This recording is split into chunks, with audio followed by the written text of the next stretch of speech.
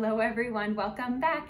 In today's video, we are talking about another mood change that happens kind of in those transitional phases in a woman's life with changes with hormones. A couple weeks ago, right, we talked about anxiety and how hormones play a big role in anxiety and how I see that clinically in my practice all the time. Um, and then last week we talked about perimenopause, um, specifically because I think it's like the worst time for treatment and I think we could do so much better as a community in treating women in perimenopause. Well, today that's an this video is another one of those kind of videos. I think this is um, a topic that we do a disservice on in women, again, um, because we don't talk about it enough, and that is um, mood disorder, specifically depression, um, as it relates to changes in estrogen. Well, when do we have changes in estrogen? In times like perimenopause and menopause, right? Um, so first of all, I am Dr. Alexandra Mayer. If you have been watching my channel all along, thank you so much. We really appreciate that. Our goal is really just to help more women feel the best that they can possibly feel through education. Um, we think that more women deserve really good education to um, understand their hormones better so that they can be the best version of themselves. So if you feel like our videos have been helping you, go ahead and share them with a friend, hit the like button and leave us a comment below because we really appreciate that. And then with further ado, let's jump in.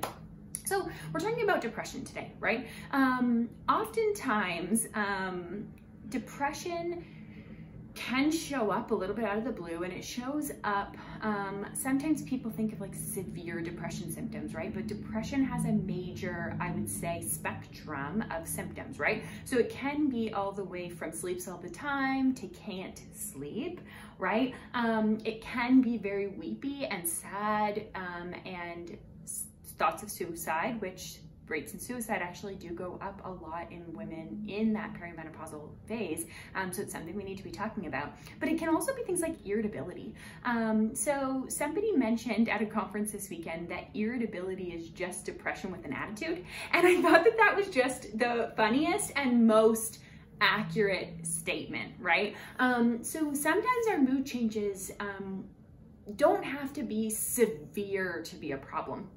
And I think that's why I wanted to do this video, um, because I have a lot of patients where they go through this perimenopausal transition um, and they have mood disorders. Nobody's ever talked to them about this, right? We talk about the insomnia, we talk about the night sweats, people maybe talk about libido and vaginal dryness, but nobody talks about the fact that up to 20% or more of women will have mood disorders come the perimenopause timeframe, right? Um, that's a big number. And um, I think we do do a disservice to women because like I said, rates of suicide actually do increase dramatically in this time frame. Um, and that's because out of nowhere you can be like, oh my God, my mood is terrible. And it's, I think sometimes when we think about the mood, we think of like that snappiness and that irritability, right? That they used to show on TV shows for women going through menopause, but it can be way more than that.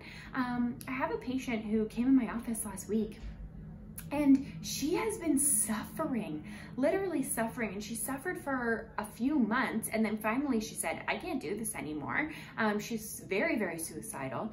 And uh, she finally realized, you know what, my hormones are shifting, let me go get them checked. And sure enough, estrogen played a big role. So that's really the number one hormone that we think about when we wanna think about um, how to treat depression symptoms, right? So one of my biggest pet peeves, um, short of perimenopause, which we talked about last week, right? One of my biggest pet peeves is that women come in with these symptoms in perimenopause like depression and they're just thrown an antidepressant as if that's helping the problem. It's not, right? If the problem is low estrogen, an antidepressant isn't fixing that. Now there is some really interesting research postmenopausally, which we will talk about, where potentially maybe combo treatment might be what we're looking for, but we will talk more about that. So when do we see rates of depression increase in a woman's life? So we see rates of depression increase in the post um, pregnancy, that postpartum phase, right?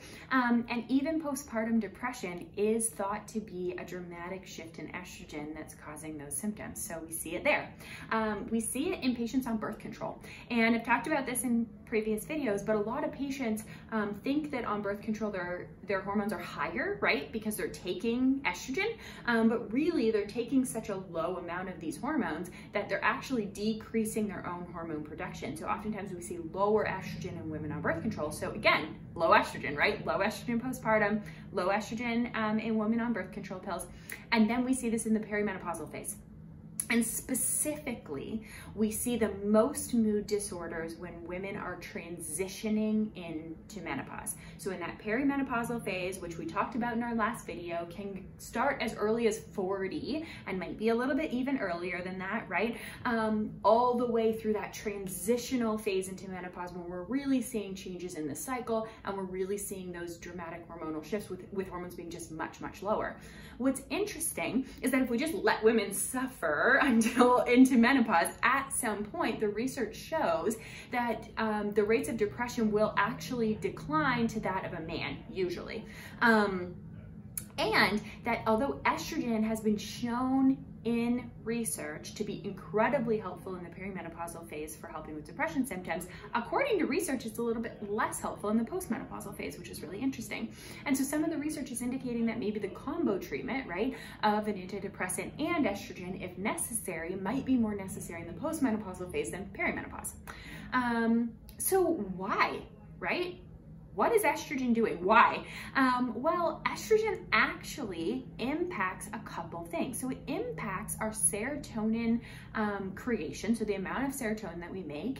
Um, it impacts serotonin receptors in the brain. So it increases serotonin receptors. So we're making more serotonin and we're able to utilize our serotonin more effectively. And then actually some research even indicates that estrogen might help with serotonin reuptake meaning the way that how serotonin sits in the synapse um, and basically how active it is, right? That's how antidepressants work. SSRIs are selective serotonin reuptake inhibitors. So they affect the reuptake of serotonin and estrogen might also help with that. Um, the other thing that it helps is it helps with modulate your production of endorphins, which are basically your feel-good hormones, right? So First of all, it's modulating all the ways that our happy hormone works, then it also is helping with those feel-good endorphins that we should get when we do things that make us feel good. And that's one of the things that happens in depression, right? is that not only are we less likely to do things that we normally like to do, when we do things, we get less joy out of them. And so it's a vicious cycle, and estrogen has been shown to help with those things. Um, so postmenopausally, they're showing that um, estrogen replacement is not as helpful for depression symptoms. I would definitely put that in quotation marks like I just did um, because sometimes we question where that kind of stuff comes from. Um, but research is showing that combination therapy might be necessary. And I will say that even in my perimenopausal women, I very rarely let them wander out of my office with just hormones to fix their depression. And actually, I was out at an event the other day and a woman was telling me about her symptoms because this does happen a lot when you are in, uh, when you're a doctor, it does happen a lot. Um, she was telling me about her symptoms and she was saying how unlike my patient who wasn't given hormones as a really great option or adequate dosing of hormones as a really good option, she was given only hormones and it wasn't enough. Um, and she mentioned how she needed an SSRI um, or an antidepressant to help her with her symptoms. Great. So honestly, in the majority of symptoms in my office, I do combination therapy, right? Um, we might do amino acid therapy or we might do herbal medicine because that can be really, really helpful. And then in really severe cases, we will mix medications, um, but not leave out the hormonal piece. Um, because at the end of the day, right, if you have hormonally based depression and um, we aren't treating you with hormones, what are we doing? And that's really my question in all of the videos that we've been doing lately is like the what are we doing to women in the perimenopausal and menopausal ranges, right? Um, so I want to know if you have ever experienced this mood change because I think it's really, really common in women and it's something that we don't talk about. And so women definitely feel um, very caught off guard, very alone, um, and like they don't know what to do. And so put in the comments below if you've ever experienced this um, and we will see you soon for our next video.